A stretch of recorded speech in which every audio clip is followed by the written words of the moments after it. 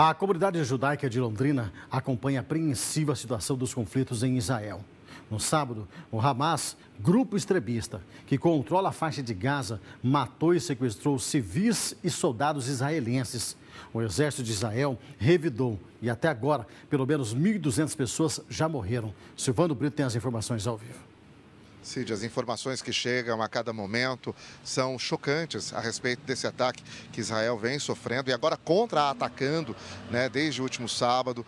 E a gente conversa agora com o rabino Charton Badio Schneider, que é da comunidade judaica aqui de Londrina. Rabino, como que a comunidade judaica aqui em Londrina recebeu a notícia desse ataque? É, foi uma grande surpresa. Né? Nós estávamos celebrando uma das nossas festas tradicionais, o encerramento dela, a festa de Sukkot, com Simchat Torah, que é a alegria da Torá, onde é uma festa muito alegre, muito festiva. E essa festa é, culminava com 50 anos também de, de uma grande posição que teve é, é, dos, dos países árabes contra Israel, e Israel saiu vitorioso nisso e fomos pegos de surpresa. A comunidade judaica, eu diria o mundo inteiro, eh, ficou surpreso com o que aconteceu.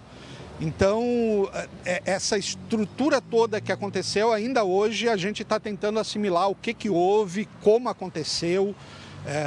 O porquê a gente sabe. O grupo Hamas é um grupo terrorista e ele sempre declarou que ele quer exterminar uh, todo e qualquer judeu daquela região. Eles não aceitam Israel como Estado, não aceitam o povo judeu. Uh, isso é, é claro. Então, o porquê é claro. Como isso acabou acontecendo, é, para nós todos é uma grande incógnita, tanto para quem mora, o que a gente chama na diáspora, fora de Israel, quanto os moradores de Israel hoje estão atordoados com tudo o que está acontecendo esse grupo é um grupo terrorista, é só para a gente entender, não é o povo palestino que está atacando Israel, é esse grupo terrorista. É um grupo terrorista né, que domina essa faixa, que é a faixa de Gaza, né, e é, a partir do momento que ele assumiu o poder, ele praticamente, vamos dizer assim, escravizou toda aquela população. Né? Tanto que a gente vê hoje, é, aonde eles têm bases de lançamento de mísseis, sempre vai haver crianças é, é, ali junto, pertinho, para que Israel não ataque e cause a morte dessas crianças. Então é uma situação muito delicada. Né? A gente sabe que existem pessoas que apoiam esse regime, mas tem muitas pessoas que são cidadãos é, é, da faixa de Gaza que não simplesmente tem que aceitar uma vida de temor, de medo, a qual esse grupo terrorista impõe às pessoas que vivem por lá. Como qualquer grupo terrorista impõe medo em qualquer lugar do mundo onde eles estiverem com suas células. Nós temos alguém da comunidade judaica daqui de Londrina que está lá, que está sofrendo essa situação? É, a princípio, nós não temos conhecimento de ninguém que esteja lá neste momento, da comunidade é, aqui de Londrina.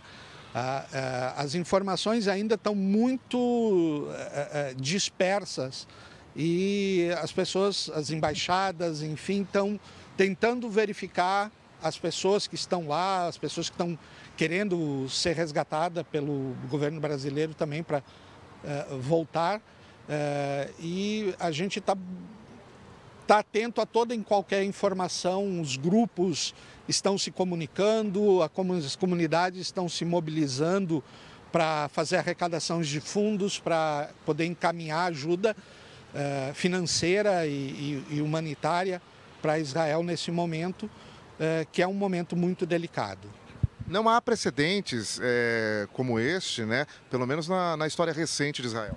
Não, esse é o, nós podemos considerar o maior evento contra a, a, o Estado de Israel, contra a população de Israel, que aconteceu desde então. O Hamas sempre atacou, ataca provavelmente toda semana ele lançava mísseis contra Israel, mas nessa magnitude e de conseguir derrubar as cercas e invadir cidades e sequestrar pessoas, é, como aconteceu, e matar famílias, como aconteceu, é, na história recente é, não tem precedente. Já temos líderes eh, políticos de diversos países se posicionando a favor de Israel, contra né, eh, esse ataque. Mas esse grupo terrorista, ele recebe apoio de outros grupos terroristas de outros países também? Esses grupos terroristas, eles têm uma, uma afinidade muito grande e eles eh, recebem sim ajudas financeiras, ajuda de inteligência de outros países, com certeza. Há o risco de envolvimento de outros países nessa possível guerra, né, se expandir, porque já é uma guerra de Israel contra esse grupo terrorista, mas há a possibilidade, a possibilidade dessa guerra se expandir além de Israel? Nesse momento, nada é impossível. Né? Nada é impossível. Você, é, vamos dizer assim, foi aceso um fósforo num, num paiol de, de pólvora. Então, o que pode acontecer a partir de agora, é, é, nós não sabemos, mas a gente pode esperar de tudo. Né? É, a gente tem aí Hezbollah, a gente tem Síria, é, são países e, e grupos terroristas é, é, e milícias que têm afinidades e todas elas são contra o Estado de Israel. Se eles se unirem, isso vai causar uma questão mundial muito forte. Eu acho que agora é um momento realmente da, dos governos é, é, fazerem um apoio a Israel para evitar maiores males que possam surgir. Porque se não for feito nada agora pelas nações que são aliadas de Israel, as coisas podem chegar assim a proporções que a gente não tem nem como imaginar. O senhor acredita que essa guerra agora, é, com Israel invadida, deve durar muito tempo?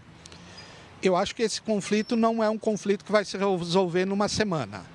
É, é, dizer quanto tempo vai levar vai depender de uma série de fatores é, é militares de Israel e ações que Israel vai promover a partir de, de então. Já está tomando medidas né, e a gente vai precisar esperar para ver o que, que vai acontecer para poder ter um, uma melhor noção. Ainda está muito recente as coisas e a, a, a desinformação e os achismos é, é, são muitos e aí é, tudo é especulação a, que eu posso fazer ou que qualquer especialista possa fazer. É, a gente só pode confiar no que o governo de Israel até agora é, divulgou e então isso são coisas mais precisas. As outras coisas são todas achismos, de que isso pode ter uma proporção maior, de que isso pode durar um longo tempo ou não. É, ninguém tem a resposta para isso. O chama a atenção é que a gente tem acompanhado né, a bateria antiaérea, antimísseis de Israel, o tempo todo ali combatendo mísseis no ar, eh, evitando aí uma destruição muito maior. E o sistema de segurança de Israel é muito forte, é um dos melhores do mundo. E ainda assim, é, houve esse ataque. O senhor acredita que houve falha ali em alguma comunicação, alguma informação? É, a gente precisa entender assim, é, o, o, o, domo de ferro, que é chamado, que é esse, esse aparato é, de mísseis é, é, para abater os mísseis lançados, é uma tecnologia muito avançada e que tem auxiliado muito. O, a grande questão é que são muitos mísseis. O Hamas está com mais de 3 mil mísseis né, eh, disponível nesse momento que a gente teve informação e, e acaba não dando conta de, de, de toda essa estrutura. Né? É, para dizer se houve falha, se não houve, é, é, como eu disse, é, tudo é especulação no momento. A gente não tem como é, dizer o que, que realmente aconteceu. Uh, o fato é assim, nós vamos ter que esperar isso tudo acalmar, quando acalmar, para ser apurados os fatos e ver o que, que realmente aconteceu. Agora eu acho que o governo não tem nem, nem tempo de pensar no que, que houve, qual foi a falha. Agora não é pensar onde foi a falha, agora é pensar como eu resolvo o problema e depois ver por que, que surgiu esse problema.